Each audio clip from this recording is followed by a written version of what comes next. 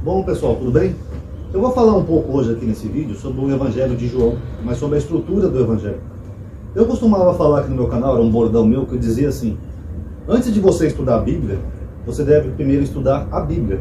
Para quem não entendeu o que quer dizer esse ditado, é que eu quero dizer que antes de se criar dogmas, teologias ou doutrinas em torno da Bíblia, as pessoas deveriam estudar o livro, sua origem, formação, estilo literário, que cada autor da Bíblia tem um estilo. Tem um que é apocalíptico, outro é histórico, outro é alegórico e assim por diante. Então é importante a gente entender a estrutura do que a gente está lidando antes de começar a criar doutrinas, porque a gente vai ter uma ideia melhor daquilo que o autor quis passar. Então nesse vídeo eu vou tentar fazer um resuminho aqui para vocês, tá bom?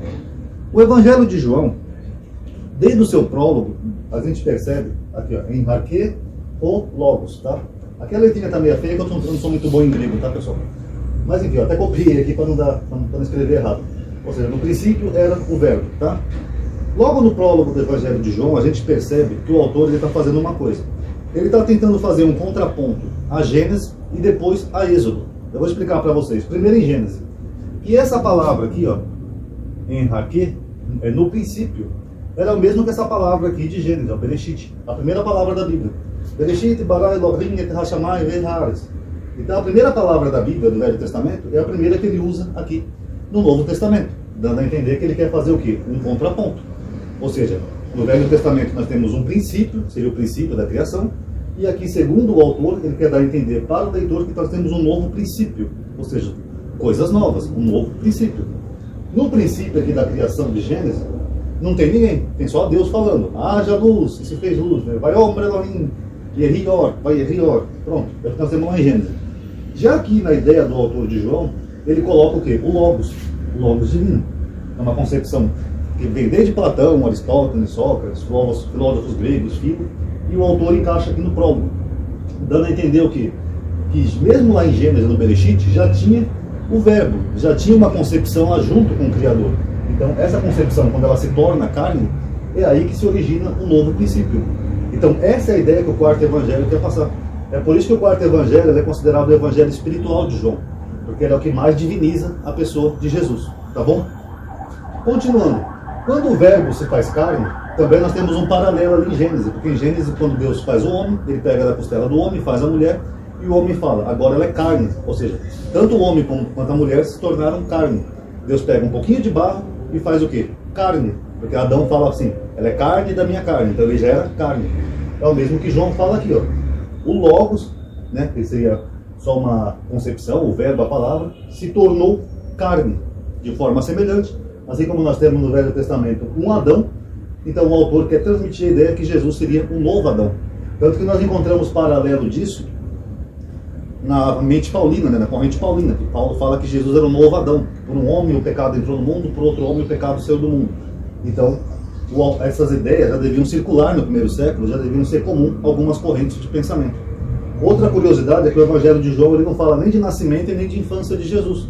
Ele simplesmente fala, ó, tinha um verbo lá no começo com Deus e o verbo simplesmente se tornou carne, pum, virou um homem. Lembra muito o que dizia o evangelho de Marcião, que segundo Tertuliano, um pai da igreja, Marcião tinha um evangelho, que acredita-se até que é esse nosso de Lucas, né, mas que foi expandido e modificado, e Marcião dizia que Jesus não nasceu, ele só desceu do céu em Cafarnaum. Ou seja, então essas ideias deveriam ser correntes, deveriam ser comuns, perdão, a alguns grupos da época. E João parece que pertence a alguma delas, tá bom? Outra curiosidade que nós vemos aqui em contraponto à Gênesis é isso daqui, ó. Mut tumot. Essa frase aqui está em Gênesis 2, 17, se eu não estou enganado. As Bíblias traduzem assim, quando Deus, quando Deus adverte a Adão que ele não pode comer do fruto proibido. No dia que comeres do fruto, certamente morrerás. Mas a tradução está errada. Na verdade, aqui essa, essa frase está dizendo, morrendo, morrerás. Então não é... Deixa eu até escrever aqui para vocês entenderem não é certamente morrerás. No hebraico está assim, ó, morrendo, morrerás. E o autor de João, com certeza, ele usou uma tradução, muito menos em português. Ele deve ter tido acesso a isso. Ó, morrendo, morrerás. Qual é a ideia do autor de Gênesis? A ideia do autor de Gênesis, dentro do que o autor escreveu, por isso que eu falei que cada livro tem uma concepção diferente, era que a pessoa, quando morresse, ela ia se afastar de Deus. Ela ia, se, ela ia ficar longe de Deus. Então, por isso que ele fala, quando você morrer fisicamente, você vai morrer espiritualmente. Você vai se afastar da presença de, do seu Criador, de Deus. Essa é a advertência que lá está em Gênesis. E qual é o contraponto que o autor de João faz? João em vários momentos ele fala, ele coloca Jesus dizendo frases como assim: Eu sou a vida eterna, ainda que morra, viverás. Não é isso que está lá na Bíblia, no Evangelho de João? Aquele que crê em mim, mesmo que morra, viverás. Então ele faz um contraponto com o primeiro Adão. O primeiro Adão foi dito para ele: ó, morrendo, morrerás. Quando você for para a cova, você vai se afastar de Deus. Já segundo João, ele faz um contraponto: morrendo, viverás. Você vai se aproximar de Deus. Vocês estão entendendo? Por isso que a gente tem que ver sempre o original, essas coisas, a concepção, a visão do autor. A ideia do autor de João é transformar Jesus num ser divino. Enquanto que Mateus, por exemplo, tenta trazer uma tipologia de Jesus como um novo Moisés, trazendo coisas parecidas, o autor de João não, ele vai um pouco além. Ele tenta trazer a visão de Jesus como se ele fosse uma nova divindade. É por isso que se não tivesse esse evangelho na Bíblia, não ia ter trindade. Porque é só o evangelho de João que dá respaldo né, para a divindade de Jesus. O que, que o autor diz? Ele coloca umas sete vezes no seu evangelho aquela frase, eu sou. Antes que Abraão existisse, eu sou.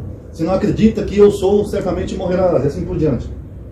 Por quê? Apesar que no hebraico não está eu sou, lá está reie, achei reie, apesar de estar tá outra frase, esse eu sou, que é o ego em grego, na visão do autor, ele saberia que o leitor ia entender que é algo parecido.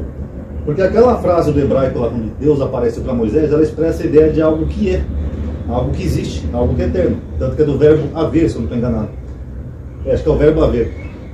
E aquele quer expressar a mesma coisa, que Jesus seria um ser divino. Ou seja, enquanto que no Velho Testamento nós temos um, um Deus, né, que seria a única divindade, João quer trazer um novo início, um novo Bereshit, um novo é. E nesse novo Bereshit tem uma nova divindade, que seria Jesus. Por isso que várias vezes ele coloca na, na, na boca de Jesus essa frase, eu sou. Tá bom, pessoal? Agora, qual é o grande problema disso tudo aqui, pessoal? Primeiro, o Evangelho de João destoa dos outros evangelhos. Se a gente for contextualizar isso aqui, na época que foi escrito, é, primeiro século, vamos jogar assim, você vê que o de João é, é, provavelmente do ano 90, né? já seria do segundo século. Vamos considerar segundo século. O judaísmo era muito rigoroso naquela época, né? O judaísmo era é, o judaísmo rabínico, né? Tinha lá fariseus, saduceus, que pegavam no pé de todo mundo por qualquer coisa. Se alguém comesse sem lavar as mãos, já, aparecia alguém para encher o saco, etc. E tal. E o, o judaísmo rigoroso, ele jamais ia admitir alguém se declarando Deus.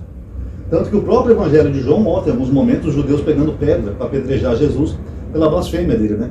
Por se dizer, se comparar a Deus. Ele faz isso em vários momentos do Evangelho. Ele chega a falar assim para Felipe: Não crês em mim, Felipe? Quem vê a mim vê o Pai. Como quer dizer, eu sou parecido com o Pai. Eu e o Pai somos um, e assim por diante. Então, isso aqui seria uma coisa altamente notória, se fosse uma coisa real. Como nós vemos esses elementos aqui no Evangelho, a gente percebe que é uma construção, não é uma história real. E esses elementos que ele coloca aqui, como por exemplo, que seria uma blasfêmia muito grande para os judeus, se fosse real, Vamos considerar que o evangelho fosse real. Teve lá umas treta com os judeus, os judeus quiseram pegar pedra tal, Jesus conseguiu escapar, tudo bem. É perfeitamente admissível que isso, isso tenha acontecido, não tem nenhum problema. Agora, o problema maior é, por que, que os outros três evangelistas não viram isso? Sendo que o de João é o mais recente. Esse é o X da questão. Não é nem a história como está ali, que a história pode ter acontecido. Algum, algum judeu dizer que era Deus, comparar com Deus, aí gera uma confusão com os outros judeus. Esse judeu escapa. Pode ter acontecido, não tem nenhum problema. O problema é, se aconteceu, por que, que os outros evangelistas não viram? Porque nós temos Marcos que colocam Jesus praticamente humano, quase 100% humano. O Jesus de Marcos faz poucos milagres, não ressuscita ninguém, eu já mostrei isso na análise crítica. É um Jesus discreto, comete vários erros e equívocos. Esse é o Jesus de Marcos, bem humano. O Jesus de Mateus é um Jesus mais judaizante, né? um Jesus mais judeu. Mateus chega a colocar assim, por exemplo, quando o jovem rico se aproxima de Jesus, ele fala assim: Diga, bom mestre, o que eu devo fazer para ganhar a vida eterna? Aí Jesus fala, ei, não me chama de bom não. Bom só tem um que é Deus. O que, que Jesus está dizendo? Eu não sou Deus. É, chega a ser antagônico ao que João relata aqui no seu evangelho. Jesus fala claramente, ó, bom só tem um que é Deus. Ou seja, não sou eu, eu não sou Deus. Lucas segue o mesmo estilo, o mesmo padrão. Lucas é voltado mais para um público gentílico, mas segue o mesmo padrão. É um Jesus que até então não é um ser divino. Agora, quando nós chegamos aqui no quarto evangelho, nós já temos essas associações aqui. Ó vida eterna, morrendo viverás, um Adão celeste, um eu sou. Ué, nenhum dos outros três evangelistas percebeu isso? Nem Mateus, nem Marcos, nem Lucas. Paulo também não teria percebido isso? Não poderia ter mencionado na sua epístola? Ó, pessoal, o Jesus que eu prego, ele era o grande eu sou. Não, no máximo o que Paulo faz é a associação com Adão Celeste lá do, do Gênesis, né? Que ele fala que por um homem o pecado entrou no mundo, por um homem o pecado saiu do mundo. Ora, isso ninguém percebeu isso que tinha na Judéia, um homem que provavelmente umas sete vezes se, tentava se identificar com Deus. Fora outras passagens, né, como aquela de Felipe, dentre outras. E aí, pessoal, é uma história real ou é só uma construção teológica para tentar mostrar para o leitor que há um novo Adão, um novo princípio e uma nova divindade? Analise aí, tire suas conclusões, tá bom? Quem puder, pessoal, dá um like no vídeo, tá? Isso ajuda a aumentar o engajamento, porque o YouTube não é todo bugado, tá? Obrigado aí por ter assistido, espero que tenha entendido e gostado. Paz a todos.